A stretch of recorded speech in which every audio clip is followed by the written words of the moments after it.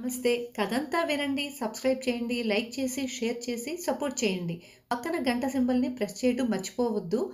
నేను చేసే కథలు మీకు నోటిఫికేషన్స్ వస్తాయి. కథ చెప్పుకుందామా? తీరిన కోరిక. నాగపుర రాజైన సమీరుడు రాజ్యం చేసినంత కాలము ప్రజాకంటకుడిగా ఉండి అవసాన దశలో పశ్చాత్తాపంతో కుమిలిపోసాగాడు. ఆయన తన చివరి క్షణాల్లో కొడుకు మహేంద్రుని దగ్గరకు పిలిచి నాయన ప్రజలు నా పాలనలో పడిన ఇక్కట్లను ఎన్నటికీ మర్చిపోను. నన్ను క్షమించరు. నువ్వేం చేయగలవో నాకు తెలియదు. నేను పోయాక మాత్రం వాళ్ళు నన్ను గురించి గొప్పగా చెప్పుకునేలా చెయ్యి.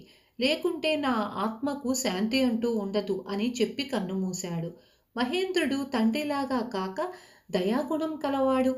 అతడు బాగా ఆలోచించి తండ్రి పేరు మీద నగరంలో ఒక ఉచిత భోజనశాలను ఒక విద్యాలయాన్ని నిర్మించాడు. కొన్ని దినాలు గడిచాక మహేంద్రుడు మారువేషంలో ముందు భోజనశాలను సందర్శించాడు. అక్కడ వందల మందికి భోజన సదుపాయాలు చకచకా జరుగుతున్నాయి. వాళ్ళందరూ తృప్తిగా భోజనం ముగిస్తున్నప్పటికీ వాళ్ళ ముఖాల్లో ఏదో వెలితి కనిపిస్తున్నది. ఈ విషయం గురించి మహేంద్రుడు ఒకడిని అడిగితే వాడు ఏముంది? ఇంత మంచి ధర్మకార్యానికి ప్రజాకంటకుడైన ఆ సమీరరాజు పేరు పెట్టడం వల్ల భోజనం మధ్యలో పంటి కింద రాయి పడ్డట్టుగా ఉంది అన్నాడు. ఇది విని మహేంద్రుడు కలతపడ్డాడు.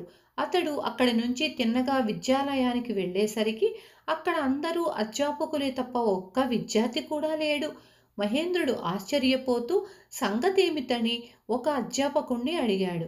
అందుకు అధ్యాపకుడు అయ్యా సమీరుడి పేరుతో ఉన్న ఈ విద్యాలయంలో చదివితే దుష్టబుద్ధులు తప్ప విద్యాబుద్ధులు వంటబట్టవని తల్లిదండ్రులు తమ పిల్లలను ఇక్కడికి పంపడానికి నిరాకరిస్తున్నారు అని చెప్పాడు. ఈ జవాబుకు మహేంద్రుడు మరింతగా కలత చెందాడు. ఆయన ఆ రోజే భోజనశాలను విద్యాలయాలను మూయించివేసి రాజకార్యాల్లో తలమునకలవుతూ తండ్రి కోరికను పూర్తిగా మరిచిపోయాడు. కొంతకాలం గడిచాక ఒకరోజు రాత్రి మహేంద్రుడు సమీరుడు వచ్చి కన్నీరు కారుస్తున్నట్లుగా కలగన్నాడు. తెల్లవారి మహేంద్రుడు తనకు వచ్చిన కల గురించి మంత్రికి చెప్పాడు. అందుకు మంత్రి మహారాజా దీని అర్థం మీ తండ్రి గారు తన కోరిక తీర్చమని మిమ్మల్ని అభ్యర్థించడమే. ఎలాగైనా మీరు ప్రభుల వారి కోరికను తీర్చండి అని సలహా ఇచ్చాడు. ఆనాటి నుంచి మహేంద్రుడు ఎన్నో ప్రయోజోపకార్యాలు చేపట్టాడు. రాజ్యంలో భూమి శిస్తు సగానికి సగం రద్దయింది. ఎన్నో విద్యాలయాలు వెలిశాయి. ఉచిత భోజనశాలలు మారుమూల గ్రామాలలో కూడా రహదారులు ఏర్పడ్డాయి. దీనితో అచిరకాలంలోనే మహేంద్రుడికి గొప్ప పేరు ప్రఖ్యాతలు వచ్చాయి. ఈ దశలో మంత్రి సమీరుడి కాంస్య విగ్రహాలు చేయించి నగరపు కూడలి ప్రదేశాల్లో ఇతర చిన్న చిన్న పట్టణాల్లో ప్రతిష్ఠింపచేశాడు తర్వాత రాజు మంత్రి కలిసి ప్రజలు ఏమనుకుంటున్నారో తెలుసుకునేందుకు మారువేషాల్లో రాజ్యంలో తిరగసాగారు.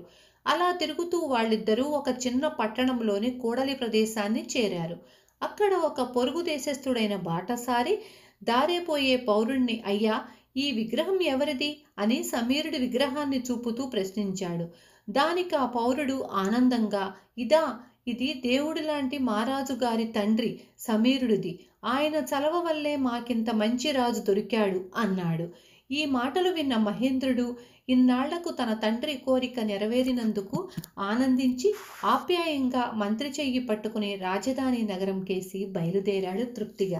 విన్నారు కదా? రేపు మళ్ళీ ఇంకొక మంచి కథ చెప్పుకుందాం.